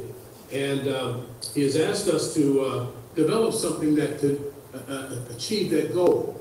And to that end, we've established a committee that will, on Tuesday, August 10th, from 5 to 8 p.m., uh, will conduct, will have a, uh, we're calling it a uh, summer festival, Caucus Summer Festival. Uh, let me explain what that all would entail. First of all, we're going to use the facility, like Carl said, behind the Bates Center. It's going to be where the Boys and Girls Club is. There's a parking lot there, big, beautiful parking lot that's sometimes underutilized, but we're going to put good use to it. Um, we also, uh, with that, we're going to be providing uh, some tables and chairs uh, for our guests. And we're asking that uh, those of you who have beach chairs or comfortable chairs, bring them with you so that they can, you can have, you can be a little bit more comfortable. Uh, restrooms are available with uh, a cooling station as needed. Um, we will have a DJ who will provide music and a PA system. Uh, electricity will be provided for that. Um, as far as uh, food is concerned, uh, we are asking those who would like to contribute uh, uh, a special dish, like we normally do uh, during our uh, monthly meetings un- under normal circumstances. We're asking that you some, that you give us a call and, and let us know what you'd like to contribute, so that we can have a, a nice spread for for folks. We're all contributing something. Everybody on the committee, as well as as well as some caucus members. Uh, we're anticipating uh, probably about uh, hundred plus people. So if you're planning on bringing something, uh, you can gauge that number, use that number as a, as a guide to what you'd like to prepare. Um, the, again, it's, going to be a, uh, uh, very comfortable, uh, we're looking to, I think Carl indicated that we, we might have a special guest or two, but it's, of course, it's not gonna be a, an agenda, it's just get together, come together, uh, show our love. Uh, and that's something that we always look forward to doing to each other every time we get together. And, uh, uh, the bishop and Carl always talk about, you know, love thy neighbor, love each other, love thyself. And that's what we're gonna do. And we're gonna have now an excellent opportunity to do that, just that. Um, if there are any questions, there's a, the, uh, you can get in touch with me, uh, uh, through my, uh, uh, phone, it's 443-243-4998. If you have any questions, or you can see one of the, uh, uh, caucus members, either Elder James, uh, uh, T. Goodwin, if I left off some names, forgive me. Are there any number of people you can see in the caucus? Juanita, uh, uh, Cage Lewis. Um, there are any number of members that you can see to put us together to find out what you'd like to bring and let us know what you're going to bring. We look forward to seeing you. Um, it's going to be a fabulous time. And uh, praise God, we're going to have that, that one opportunity looking forward to for a year and a half. Bishop, you know, Larry just recently, recently had a birthday. Larry, Larry, you got to put you on mute. You have to put it on mute. We're getting echo. Uh, Larry recently had a birthday, and um, I think he still haven't put it on mute, right? yeah, it's still showing Yeah. it's not on mute. But but in any event, um, he turned 78.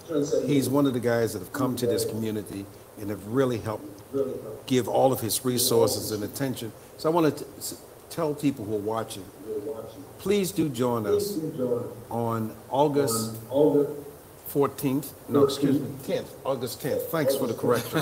August 10th, and it starts at 5 o'clock. It's 5 to 8 p.m. Um, it's open to the public, and it's the first time. Um, we've got to really put. Got to mute, uh, Larry. Just click that mute button there. It keeps, uh, some, Emma, gi- Emma, give him a hand.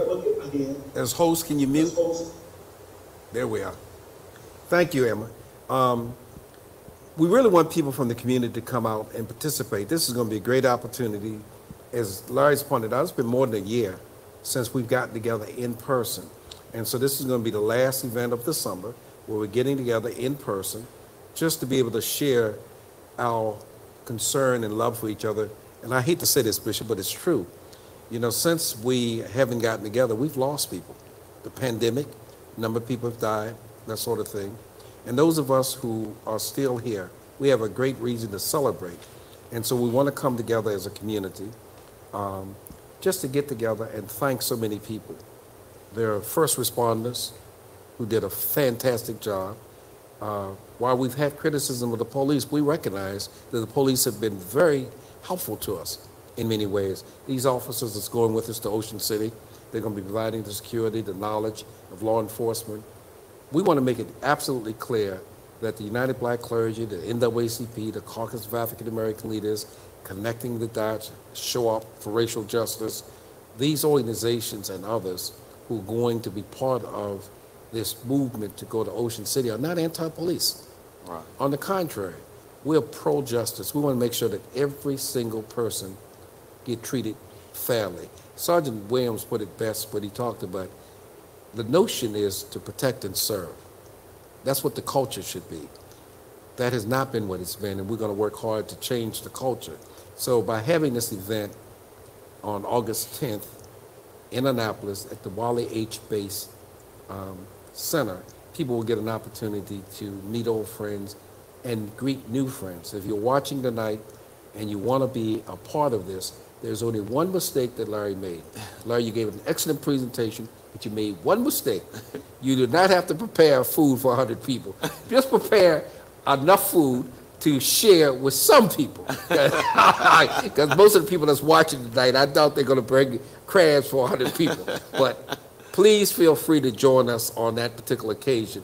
And one of the things that, as we wind down, one of the things that I wanted to also share, uh, Bishop, and I know you know others that may have this problem.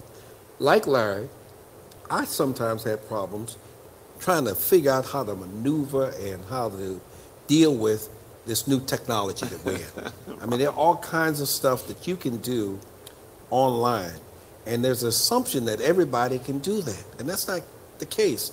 And so, thanks to Emma Buckman, who's going to be giving us this announcement in a few moments, I want everybody who's listening, if you have any problem ever with dealing with the technology, if you're watching and have always tried to figure out how am I able to share information on the screen?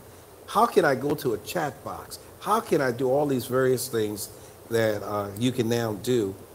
There is a special workshop that's going to be done, and it's free of charge. Emma, please share with our viewing audience this upcoming workshop that anybody can sign up for. Thank you, Carl. Um, yes, so um, I mentioned this last month that we were still trying to find a good date, um, and uh, we finally found a date with the very talented web developer who also revamped the Caucus for African American Leaders page. Um, so we have a training date for everyone, um, and it's going to be Wednesday, July 21st at 6 p.m. So that's Wednesday, July 21st at 6 p.m. If you're interested in participating, please feel free to um, email me or call me. Um, I already have a couple people who signed up. My email address for those who need it is emma, E-M-M-A, at marchonmd.org. And my cell phone number is 443 618 3094. And again, this wouldn't this wouldn't be like the back end Alan Turing-esque sort of stuff. This would be more of the um, this is like the making it look good, but like it, it's like the middle level of making a website look good, building it. You know, they're really useful skills to have that I still haven't mastered, and so I'm excited to do this training. And while I have the spot, I also wanted to announce that there's another um, training. It's a bystander intervention training. I announced that last month we had to postpone it because of people's schedules, but it is going to happen on August 4th. Um, I believe it's at 6 p.m., but there is a Facebook event on the March on Maryland Facebook page. Again, if you have questions about that, you can email me or call me. Email is emma at marchonmd, um, and that's on August 4th at 6. And now I wanted to quickly pass it to Ms. Linda Davis, who has an announcement about a screening coming up. So I'll pass it to Linda. Thank you. Great, thank you, Emma, and thank you, everyone. Thank you, Carl and Bishop Palmer. Um, showing up for racial justice is going to be on the bus on um, July 19th. We're excited to um, join you and believe in justice and we'll show up. And so, related to the bus trip, one of the stops is going to be the um, Confederate uh, monument in Easton, the Talbot Boys Monument. Um, and so we're doing a screening on July 26th uh, of a film called The Neutral Ground related to taking down the monuments in New Orleans. It's very relevant to what's happening here in Maryland and us wanting to get that monument down. And so that's happening on July 26th at 7 o'clock. Um, I'm going to put the information in the chat on Zoom, and maybe Emma could put it in the Facebook um, group. So thank you all. Thank you. Thank you so very much. And before we conclude, uh, I just wanted to let people know who in the city of Annapolis, if you're interested in running for public office, you only have until July 26th. It's the deadline to file if you're running for public office in Annapolis. This is an off election year, but the mayor of Annapolis is up for reelection, as is all eight members of the city council. Three of the members of the city council have announced they will not be running, so there will be an open seats and people who are interested in running need to apply by July 26. As of today's program, Mayor Gavin Buckley has no opposition, um, and he's running for reelection. And there are several other members on the city council who currently have no opposition. But again, on the 26th of July, that's the date to do the filing deadline. The election will be held, the primary, in the fall of this year, followed by the elections in November. And we want to encourage people to be able to go out and vote. The last two things I will say before turning this over to Bishop for the final uh, comments are the following. One, tomorrow, it's absolutely essential that if you're able to go to the Western District Police Station which is located on Telegraph Road in Anne Arundel County. You go there. This is the last uh, police trial board under the current law that will allow will allow police officers to judge whether another police officer has done something wrong. We think that because this is open to the public, you'll be able to watch the proceedings. You can judge for yourself. You can see whether or not you think that the police officer used excessive force, as is being alleged when he put his knee on the neck of this individual. If you're off tomorrow, starts at 9 o'clock, please, please do come and participate. Many of us will be there watching the proceedings. And then secondly, I'm glad that Linda had indicated she and others from Showing Up for Racial Justice will be on the bus. There was a movie called Get on the Bus years ago. Um, this when they were taking people to the Million Man March. They did a program, a television program called Get on the Bus. And Get on the Bus, Bishop, is really symbolic because getting on the bus is people saying, in essence, I want to be part of a group that want to make America better and not bitter. We've seen so many instances where we've seen people uh, have adversities and dealing with all of these strifes, but we've also saw America at its best. We've seen when Americans of goodwill come together, we change America for the better. And I think most people who are watching know that when the bus rides took place in the 60s, going into places that my good friend Pete talked about, Mississippi being a great state, uh, we know that Mississippians, like Fannie Lou Hamer, like Medgar Evers, saw that Mississippi and America could be better.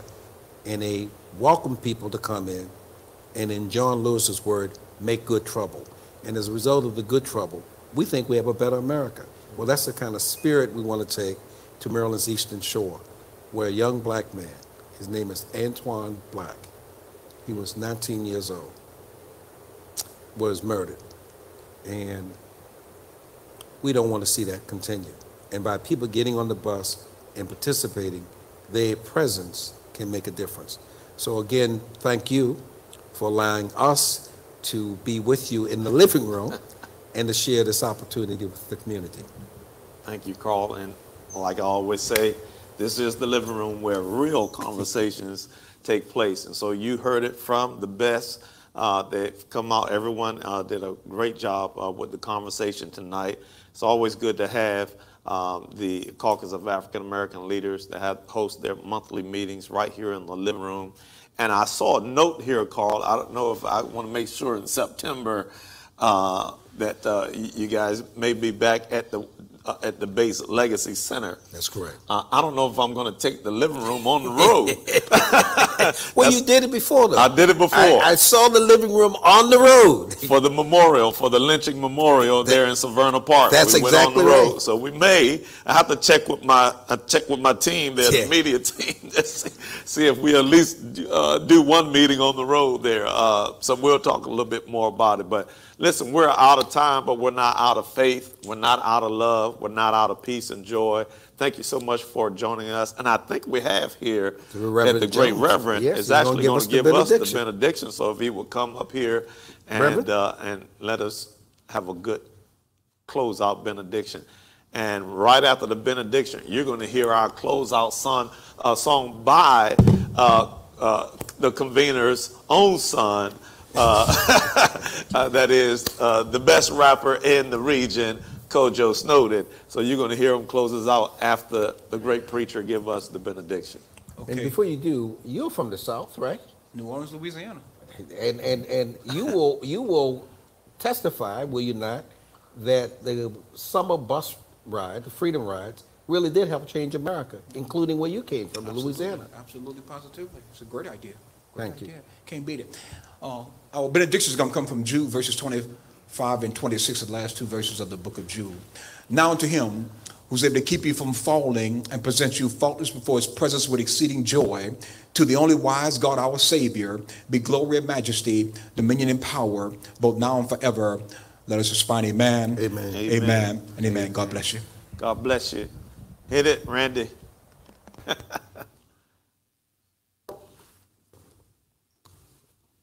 Do you have a minute for? Yeah, sure. Welcome to the living room. Welcome to the living room. Where real conversations take place. Dear listeners, viewers, supporters, fans, friends, or family of the show, we are honored to have you here.